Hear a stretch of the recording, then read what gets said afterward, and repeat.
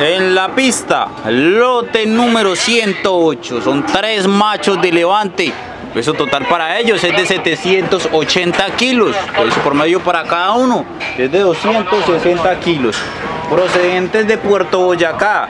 A base es de 7.500 pesos por kilo. Pesados a las 10 y 44 de la mañana.